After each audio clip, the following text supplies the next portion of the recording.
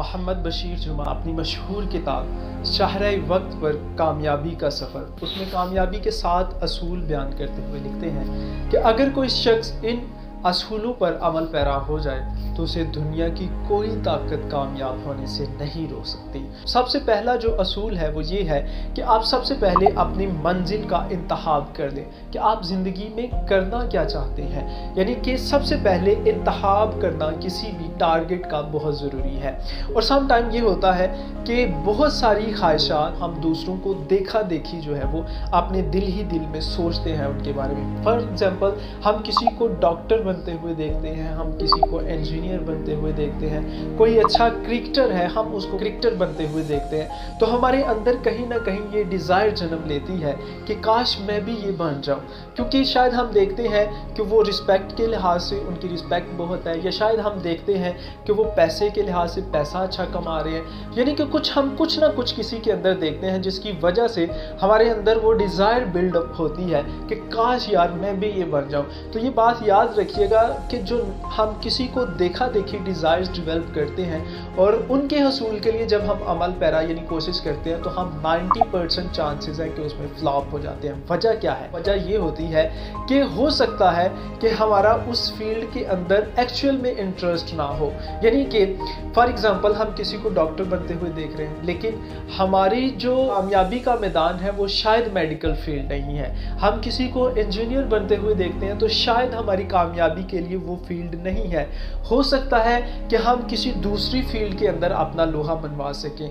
हो सकता है कि किसी दूसरी फ़ील्ड के अंदर हम अपनी कामयाबी के झंडे गाड़ सकें। सबसे पहले ये देखें कि आप इंटरेस्टेड किस चीज़ के अंदर हैं। यानी जब आपको ये पता चल जाए कि ये काम जो भी मैं करता हूँ, इसके अंदर मैं इंटरेस्टेड हूँ और मैं कभी थकता ही नहीं हूँ इस काम को करते हुए तो फिर उस काम का इंतहाब कर लीजिए। ये कहा भी जाता है कि हर इंसान के अंदर बेशुमार सलाहियतें होती हैं। लेकिन मल्टीपल डिज़ायर्स इंसान की नाकामी की वजह बनती हैं। जब एक से ज़्यादा ख्वाहिशात इंसान के अंदर जन्म लेती हैं तो वो इंसान की नाकामी की बड़ी वजह होती है। लिहाजा कोई एक ख्वाहिश, कोई एक टारगेट उसको दे, ले करके आगे जो है वो चले। दूसरा जो है, जो भी आपने इंतहाब किया, उसके ऊपर एक दफ़ा रिव्यू कर रिव्यू करने से मुराद ये है कि जो आपने टारगेट सेलेक्ट किया है, वो अचीवेबल भी है या नहीं है। मुख्तसर सी मिसाल, मेरी ये ख्वाहिश है कि वहाँ से समंदरी तूफ़ान आ रहा है और मैं उसके सामने आँखें बंद कर लूँ और वो मेरा तूफ़ान जो है मैं आँखें बंद करके रखूँ और मैं उसको रोक लूँ।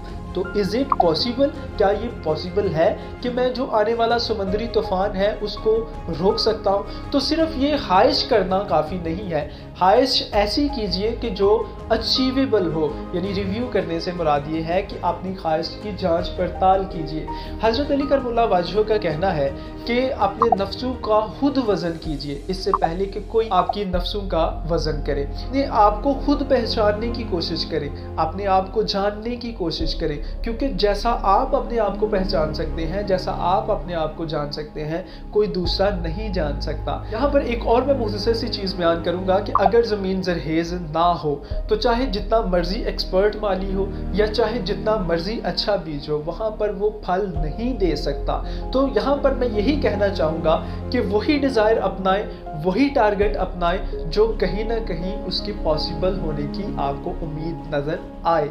उसके बाद तीसरा पॉइंट है कि जब आपने इंतहा भी कर लिया, आपने रिव्यू भी कर लिया तो तीसरा पॉइंट इसका क्या है कि फिर उसके ऊपर आपकी सारी तवज्जो मरकूज होनी चाहिए। समटाइम सिर्फ़ और सिर्फ़ एक डिज़ायर होती है और एक होती है बर्निंग डिज़ायर दूसरी सी मिसाल से मैं ये वाजह करूँगा कि सिर्फ़ डिज़ायर क्या है और बर्निंग डिज़ायर क्या है।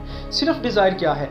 हम फॉर एग्ज़ाम्पल एक रोड के किनारे पर चल रहे हैं और हम देखते हैं कि एक बिल्डिंग को आग लगी हुई हमारे अंदर कहीं ना कहीं ये डिज़ायर उभरती है कि क्यों ना इस आग को बुझाया जाए। हम, हो सकता है कि लोगों को भी इकट्ठा करें, लेकिन अगर हमें खुदा न हास्ता ये पता चल जाए कि हमारी ख़ानदान या हमारी फैमिली का कोई फ़र्द इस बिल्डिंग के अंदर मौजूद है, जिस बिल्डिंग में आग लगी हुई है तो फिर आपकी डिज़ायर बर्निंग डिज़ायर में चेंज हो जाएगी।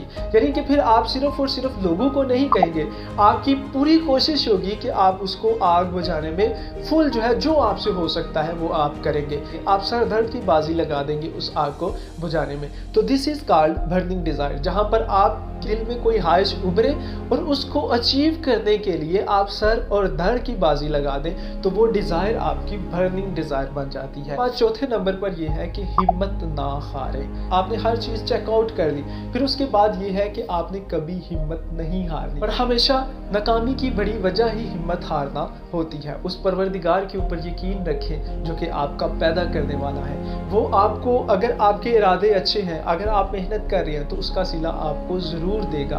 हम अक्सर देखते हैं कि गर्द का बड़ा हुआ तूफ़ान उठ रहा है और हम लोग परेशान हो जाते हैं। फिर वही गर्द का बड़ा हुआ तूफ़ान हमारे लिए मौसम को खुशगवार बना देता है। कोई भी जो प्रॉब्लम है आपकी ज़िंदगी के अंदर आ रही है, वो आर्जी होती है। मुश्किल तब होती है जब हम हिम्मत हार जाते हैं, और हिम्मत हार के हम अपने काम को क्विट कर बैठते हैं। और फिर वही प्रॉब्लम जिसकी मुद्दत जो है वो आर्जी होती है, वो एक परमानेंट जो है बनकर हमारे सामने आ जाती है।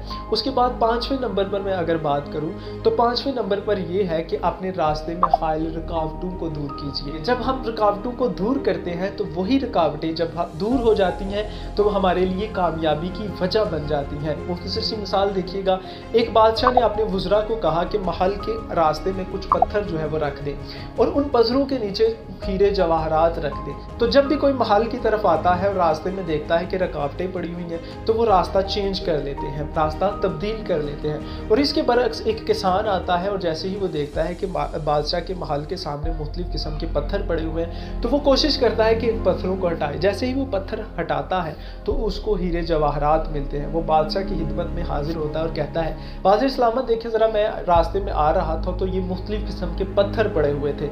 मैंने जब इनको हटाया तो नीचे से ये चीज़ें जो है वो बरामद हुई। बादशाह ने कहा कि ये सारी चीज़ें तुम्हारी हैं। मैं सिर्फ़ ये देखना चाहता था कि मेरी राया के अंदर लोग कितने जो है वो मेहनत प्रस्त लोग हैं। कौन जो है वो मेहनत करके इन पत्थरों को हटा सकता है? तो लेकिन तुम्हारे अलावा मुझे कोई नज़र नहीं आया। तो यहाँ से एक बात तो क्लियर है। जब भी हम कामयाबी के रास्ते में पड़ा हुआ पत्थर जो है, उसको हटाते हैं तो हमेशा हम कामयाबी की तरफ़ गामजन हो जाते हैं। छठा असूल ये है कि अपने अमल पर तवज्जो दीजिए। हम बारहा बेतहाशा कोशिश करने के बावजूद देखते हैं कि हमें वैसा रिज़ल्ट नहीं मिल रहा होता जैसा हम रिक्वायर कर रहे होते हैं। तो उसकी बड़ी वजह ये होती है कि कहीं ना कहीं हम जो कोशिश कर रहे होते हैं, उसमें कहीं ना कहीं जो है वो फॉल्ट होता है। कहीं ना कहीं वो फॉल्ट जो है वो हमारी नाकामी का भी सबब बन रहा होता है। तो इसकी मुख्तसर सी मिसाल देखिए, दो मज़दूर मुख्तलिफ़ दीवारों के ऊपर कील गाड़ रहे होते हैं। एक बड़ी आसानी से एक दीवार के ऊपर कील गाड़ लेता है। लेकिन दूसरा जो है, उससे ज़्यादा मेहनत कर रहा होता है, लेकिन वो प्रॉपर कील नहीं गाड़ पा रहा होता। लेकिन बड़ी वजह क्या होती है? उसकी बड़ी वजह जब सामने आती है तो वो ये होती है कि जिससे वो मेहनत भी जो मज़दूर ज़्यादा कर रहा होता है, लेकिन उसे कील नहीं गाड़ा जा रहा तो उसकी वजह ये होती है कि उस दीवार के पीछे बड़े बड़ी सीमेंट की जो है तहें हैं, वो मौजूद होती हैं, जिस वजह से वो प्रॉपर उसके अंदर कील नहीं गाड़ पा रहा होता। तो जो दूसरा मजदूर होता है, वो क्या करता है? वो पहले सीमेंट की जो तह होती हैं, उनको उखाड़ता है, उसके बाद कील गाड़ता है, जिसे आसानी से वो कील को गाड़ पाता है। कोशिश का रिव्यू करते हैं तो हम कामयाबी की तरफ़ गामजन हो जाते हैं। उसके बाद सातवें नंबर का जो पॉइंट है, वो है साबत कदमी साबत कदमी के बारे में एक मशहूर मुफक्र का कहना है समटाइम परसिस्टेंस पेज अलाट साबत कदमी हमें बहुत कुछ दे जाती है। अपनी ज़िंदगी के अंदर आप देखते हैं कि आपने कोशिश भी कर रहे हैं, लेकिन उसके बावजूद रिज़ल्ट नहीं मिल रहा। तो उसके लिए फिर भी आपको साबित कदम रहना है। आपने लूज होप हो करके उसको क्विट नहीं करता। उसके लिए बेहतरीन हल ये है कि जब आप मुख्तलिफ़ हरबे आजमा चुके हैं, लेकिन आपको कामयाबी नज़र नहीं आ रही। आपने अपनी कोशिश के ऊपर भी रिव्यू कर लिया, लेकिन आपको फिर भी कामयाबी नज़र नहीं आ रही। Then what should you do आपको ये करना है कि आप अपने से सीनियर्स लोगों के साथ रबता करें। उस फ़ील्ड के अंदर कोई ना कोई तो सीनियर होगा जो आपने काम चूज़ किया है, जो भी आपने टारगेट सेलेक्ट किया है। उन सीनियर्स लोगों के साथ रबता कीजिए, उन सीनियर्स लोगों से सीखिए। आपने जो भी काम सेलेक्ट किया है, उससे रिलेटेड जो उस फ़ील्ड के अंदर माहरीन है, उनसे रबता कीजिए।